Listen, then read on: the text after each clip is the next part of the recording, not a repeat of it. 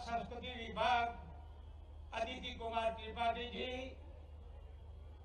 अलग अलग प्रांत से और मध्य प्रदेश के सभी कलाकार भाई बहनों उपस्थित अधिकारी गण एवं कर्मचारी गण मध्य प्रदेश विभिन्न क्षेत्रों से आए जनजातीय कलाकार गण परेड में पुरस्कृत दलों के प्रतियोगिता गण उपस्थित महानुभाव भाई और बहनों, प्यारे बच्चों, मीडिया के मित्रों।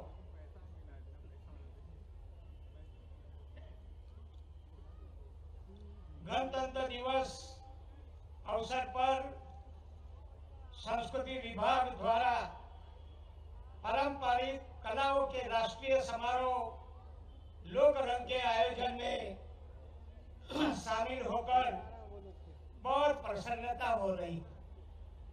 समारोह में आए सभी कलाकारों, शिल्पियों, बुनकरों धुमंतु समुदाय के सदस्यों, लोकांचलों के व्यंजनकारों और अर्जेंटीना ब्राज़ील, बुल्गारिया जैसे देशों से आए कलाकारों का देश की हृदय प्रदेश की राजधानी भोपाल में मैं उनका स्वागत करता हूँ।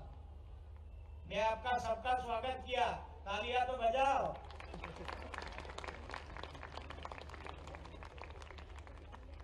मुझे बताया गया कि 1986 से आरंभ हुए इस राष्ट्रीय समारोह में आयोजन का यह उनचालीसवा वर्ष है। समारोह की अवधि 26 से 30 जनवरी के दौरान देश के 14 राज्यों के अलग अलग नृत्य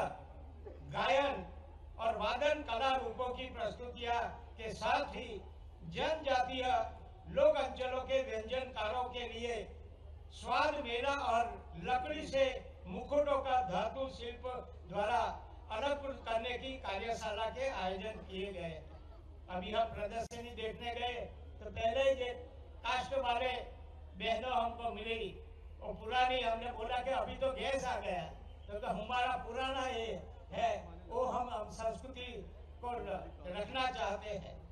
धुमंतु समुदाय की जीवन शैली कलात्मक सामर्थ्यों को अभिव्यक्त करते बाँस घास लाख जूट वस्त्रों की पारंपरिक बुनाई सफ़ाई कढ़ाई की शिल्पियों को उत्पादकों का प्रदर्शन और विक्रय भी किया जाएगा। प्रदेश के एवं अन्य राज्यों के लगभग 300 पारंपरिक शिल्पों को प्रदर्शन और विक्रय का मंच उपलब्ध कराने के लिए आयोजकों को बहुत बहुत बधाई देता हूँ। समारोह में प्रदेश, गौंड और भील जनजाति के पारंपरिक चित्रकारों, उनकी कलात्मक के प्रदर्शन का मंच भी प्रदान किया है। यह एक बेगा महिला ने भी जो चित्र प्रदर्शन किया है, बहुत से उनको अवार्ड भी मिला वो बहन का भी बहुत बड़ा पार्ट यहाँ चित्रकला का वहाँ देखा मैंने मुझे जानकर अत्यंत खुशी हुई कि इस वर्ष समारोह में महान संत शिरोमणि रविदास जी का जीवन, उनकी वाणी को नृत्य नाट्य में प्रस्तुत किया जा रहा है।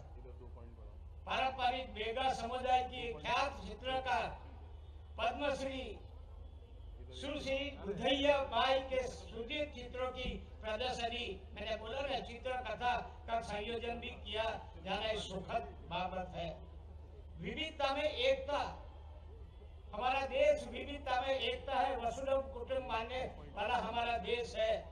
हमारे देश की संस्कृति है, जिसमें हज़ारों वर्ष की हमारी लोक संस्कृति की मान्यता, नैतिक मूल्यों और जीवन दर्शन की निरंतरता, विशाल खजाना छुपा हुआ है। सांस्कृतिक कार्यक्रम कला के विभिन्न स्वप्नों द्वारा नैतिक मूल्यों, मान्यताओं को संरक्षित कर हमारी सांस्कृतिक विविधताओं के भावात्मक एकत्व को मज़बूत बनाते हैं। मेरा मानना है कि हमारी सांस्कृतिक विविधता सही अर्थों में हमारे देश की धरोहर है। इसका निरंतर संरक्षण और विकास सुनिश्चित करना हम सभी का कर्तव्य भी है। अंत में मैं कहूँगा कि हम आज जो सुखी समुद्र और स्वतंत्र जीवन जी रहे हैं, वो हमारे पूर्वजों के अमर बलिदान की अमूल्य विरासत है। आज आवश्यकता है कि युवा, आज़ादी के सेनानियों के अदम्य शौर्य, साहस, त्याग और बलिदान से प्रेरणा लेकर विकसित भारत बनाने के लिए प्रतिबद्ध हो। इस आशा के साथ लोक रंग हमारे लोक मूल्य कलात्मक समुद्रता को उजागर कर युवाओं बच्चों के हमारी सांस्कृतिक धरोहर से परिचित कराएगा। उन्हें सबके साथ विश्वास और प्रयासों से भारत के गौरवपूर्ण अतीत और समुद्र सांस्कृतिक परंपरा और हमारी समुद्र सांस्कृतिक विरासत को संरक्षित करने के लिए प्रेरित और प्रोत्साहित करेगा। सभी कलाकार भाई बहनों और आज यहाँ सब उपस्थित सभी को गणतंत्र दिवस की बहुत बहुत शुभकामना देते हुए आपका कार्यक्रम बहुत अच्छा रहे, जितने दिन रहे और सबको प्रोत्साहित करे ऐसी अपेक्षा के साथ मैं मेरी बात पूरी करता हूँ। आभार, भारत माता की जय।